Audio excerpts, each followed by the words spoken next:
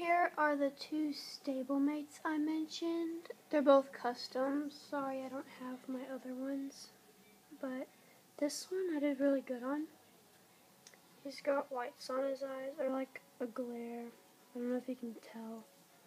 But I'd have to touch him up for you because he's been in the closet for a long time. And he's got sparkles in his hair. I don't know, I'd say he's an Andalusian. And I can redo either of these if you want.